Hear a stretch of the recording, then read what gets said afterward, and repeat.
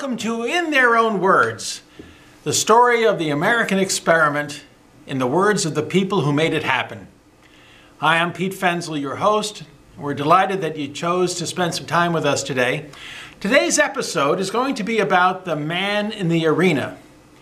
It's the example of Theodore Roosevelt as the epitome of the citizen of a free republic.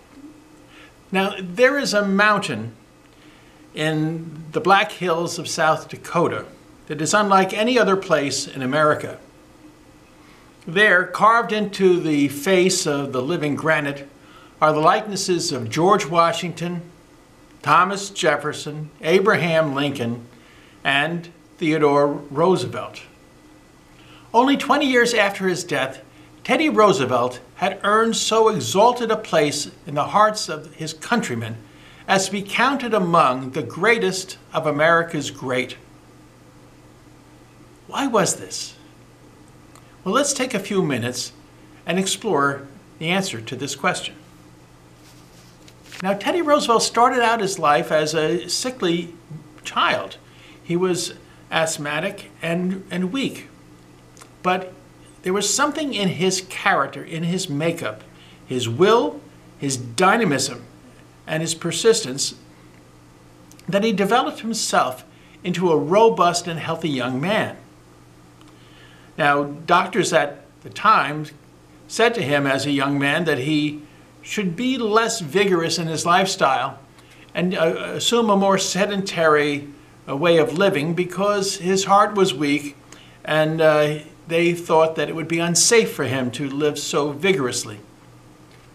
And he, at that point, he turned to the doctors and said, No, I'm going to do the exact opposite of what you have suggested to me. And I'm going to live a vigorous life as long as my heart beats, which it did for another 40 years.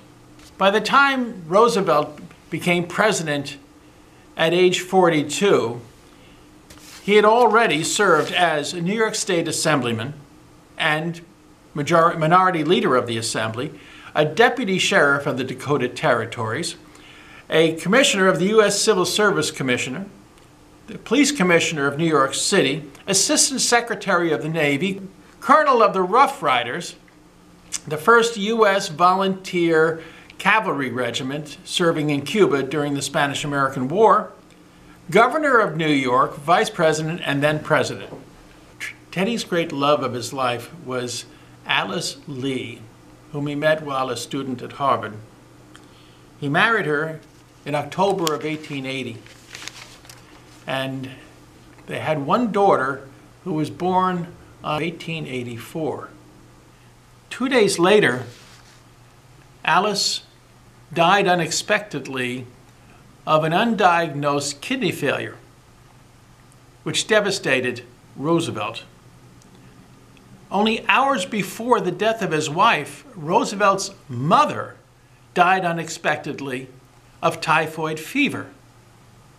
And now the bereft young man, so devastated, wrote in his diary for February 14, 1884, as follows Alice Hathaway Lee, born at Chestnut Hill, July 29, 1861. I saw her first on October 1878.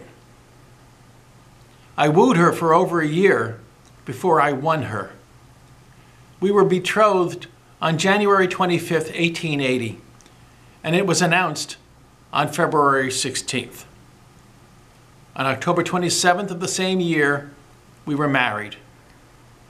We spent three years of happiness greater and more unalloyed than I have ever known fall to the lot of others. On February 14th, 1884, the light has gone out of my life. His diary entry was the last time he was known to have mentioned Alice's name. So deep was the abyss of his grief. Well, Roosevelt retreated from life and he went out to the Dakota territories to do ranching to refine and, and center himself. Two years later, he remarried. He had five more robust children and built a home for them on Sagamore Hill near Oyster Bay in, on Long Island. Those were, those were happy years for Roosevelt, living among his children. But in 1889, President Benjamin Harrison appointed the noted uh, reformer to the United States Civil Service Commission, where his skills were needed. He served on the U.S. Civil Service Commission until 1895, when he was appointed as New York City Police Commissioner.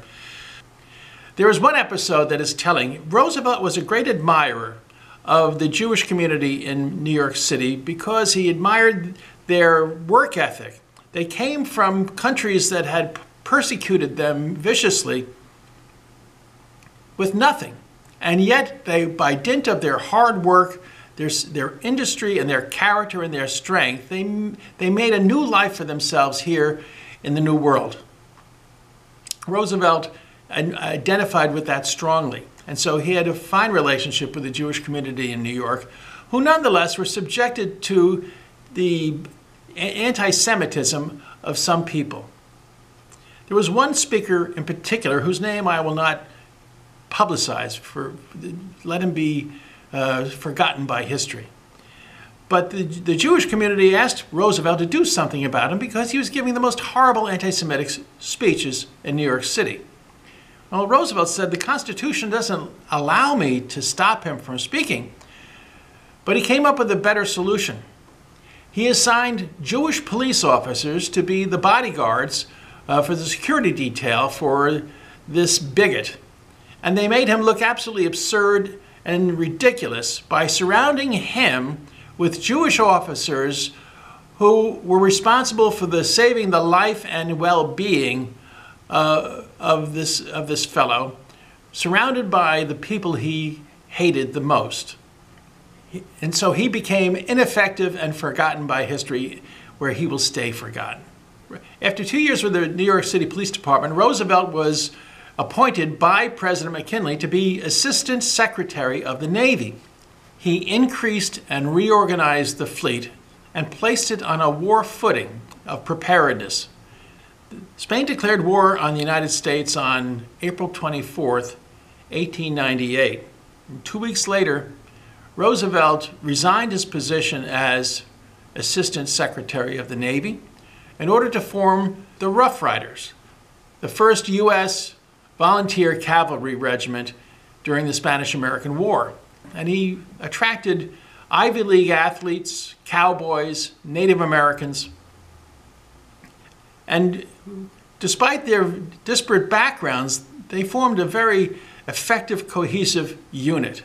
Roosevelt led from the front in the attacks upon Kettle Hill and then on San Juan Hill outside of Santiago, Cuba, and, and won renown for these victories. The Rough Riders returned to New York.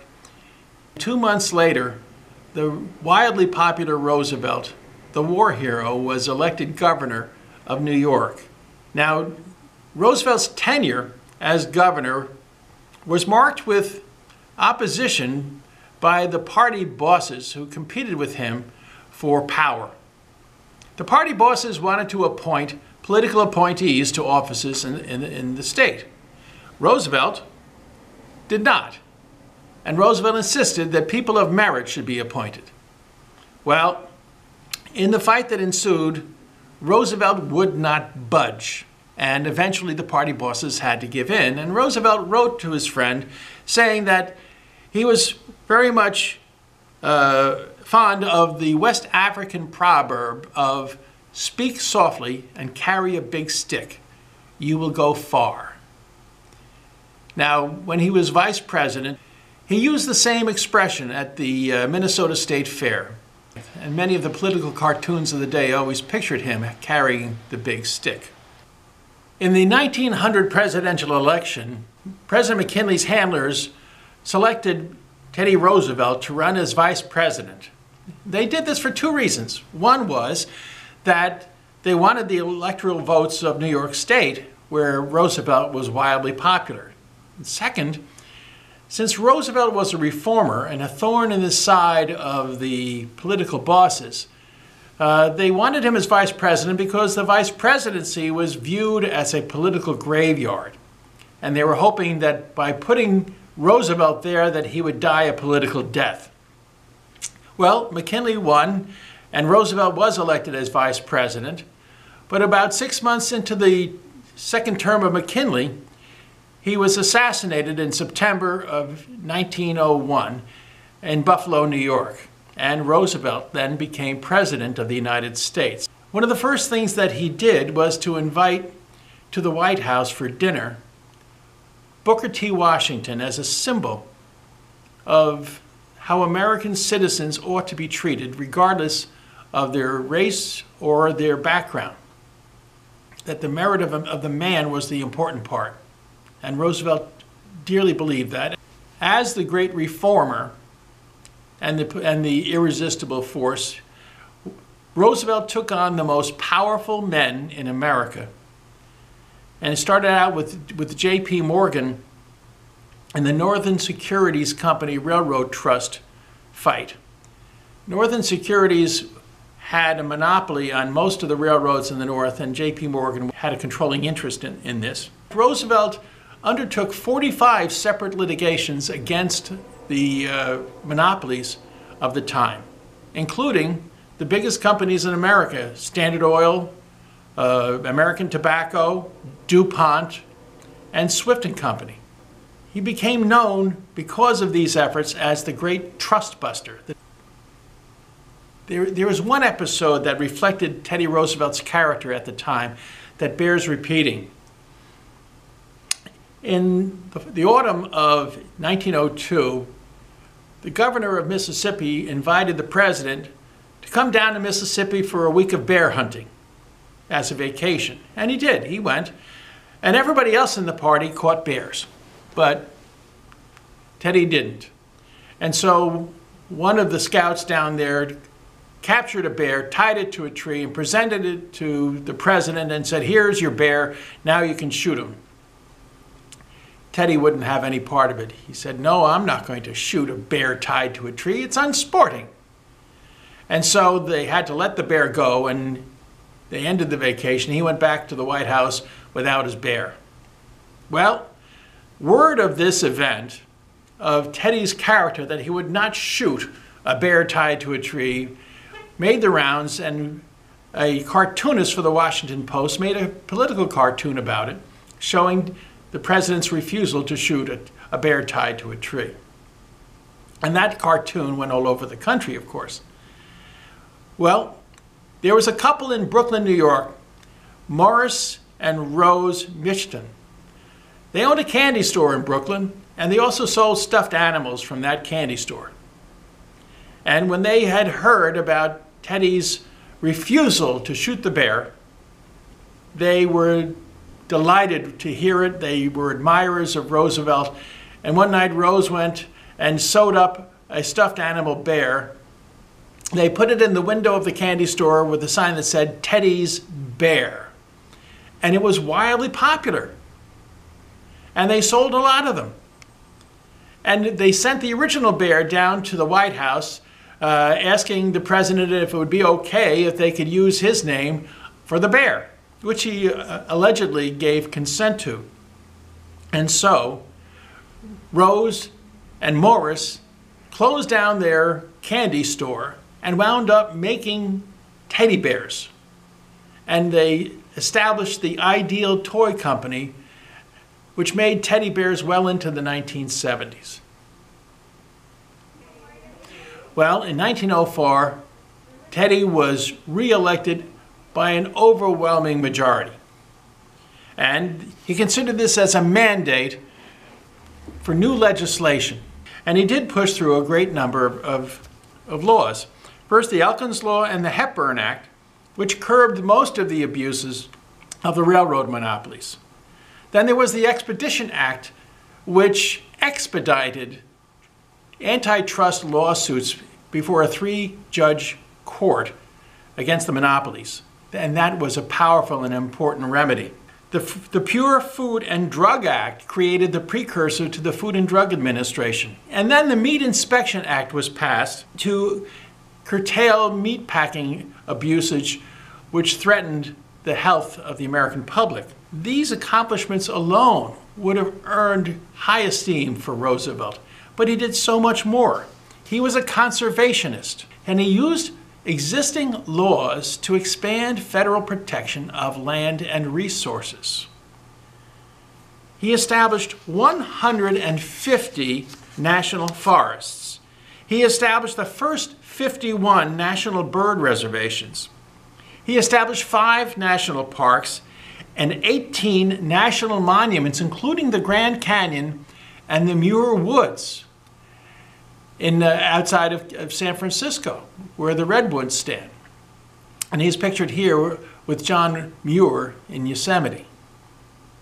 He established four national game preserves, 21 land reclamation projects, protecting in all 230 million acres of land, which is the equivalent landmass of all the states on the eastern seaboard from Maine to Florida. In addition to being a conservationist, Roosevelt conducted a vigorous foreign policy. First, he was a peacemaker. He kept America out of war, and he negotiated from strength by strengthening America's military and modernizing it. He was the broker for the peace between Japan and Russia in 1905 at the Portsmouth Conference in Portsmouth, New Hampshire, which ended the Russo-Japanese War, and for his efforts as a peacemaker, earned the 1906 Nobel Peace Prize. He supported Panamanian independence against Colombia, which resulted in the formation of Panama as a separate republic, then negotiated a treaty with Panama and, and oversaw the construction of the Panama Canal, which finally was completed right after he left office. He protected Latin American countries from European intrusions and European threats, which was the Roosevelt corollary to the Monroe Doctrine. And he saw the Navy not only as a military arm, but as a diplomatic resource in order to effect policies. He enlarged and modernized the fleet. He increased personnel and, and training and he reorganized the Navy to be a far more efficient element of American policy.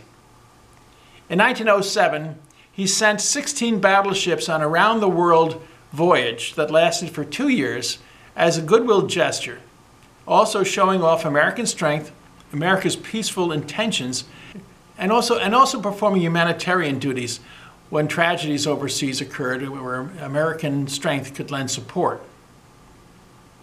In all, Roosevelt ended America's tradition of isolationism. Since its inception, America had been co completely preoccupied with settlement of the frontier. With the frontier largely disappearing, he was able to bring America out into the realm of international politics, where the young republic could take its place among the more powerful nations of the world. He also created the modern American presidency. Rather than having a hands-off laissez-faire policy of allowing the different agencies to govern themselves and to perform their functions, policy became focused in the White House itself in the person of the president. This is very much how the presidency functions today. Roosevelt completed his second term in, in, in 1909. Teddy went over to Europe in 1910 to among other things, collect his Nobel Peace Prize. Now, two weeks before he uh, accepted his Nobel Peace Prize in Oslo, he stopped in Paris at the Sorbonne and gave a long talk on citizenship in a republic. In, in this speech, in a segment, only a small segment of the speech, he talks about the citizen who is the man in the arena. And this might be Roosevelt's most famous words. And it's worth, and it is, it's worth repeating here.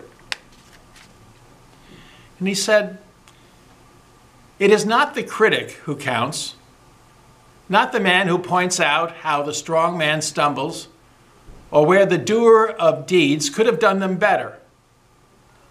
The credit belongs to the man who is actually in the arena, whose face is marred by dust and sweat and blood, who strives valiantly, who errs, who comes up short again and again, because there is no effort without error and shortcoming, but who does actually strive to do the deeds, who knows the great enthusiasms, the great devotions, who spends himself in a worthy cause, who at the best knows in the end the triumph of high achievement, and who at the worst, if he fails, at least fails while daring greatly, so that his place shall never be with those cold and timid souls who neither know victory nor defeat.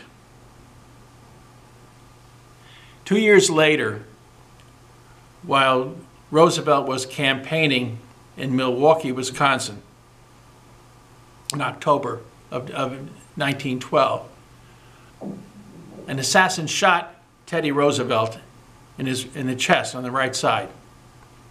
His, his metal glasses case and the papers of his talk in his pocket largely protected him from the worst of the, of, the, of the shooting, but a bullet lodged in his chest. He noticed that he was not spitting up blood, so it did not hit his lungs, and so he declined medical attention, and he told the crowd, I have just been shot but it's going to take more than a bullet to put down a bull moose.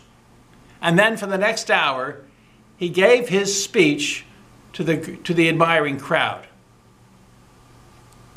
This was the man in the arena who was not deterred even by a bullet in his chest. Roosevelt died in his sleep at the age of 60, as his doctors had warned him four decades earlier. He was the man in the arena. He was the irrepressible, optimistic, industrious, big thinking, big acting, big dreaming man of character and great deeds. Much like the young republic that he loved and served so well. That's why he's on Mount Rushmore. And so, for you younger Americans out there, the question is posed to you Who will you be?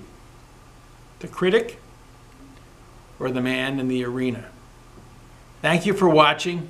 I hope you enjoyed this episode. If you liked this, give us a thumbs up on YouTube. If you'd like to make some comments, go ahead. Uh, we'd appreciate it if you would share us with others, all your friends, and uh, subscribe to the channel if you would. You'll get notices of any new uh, shows coming up. We do appreciate you joining us. That's it for now. Thanks very much, and God bless you.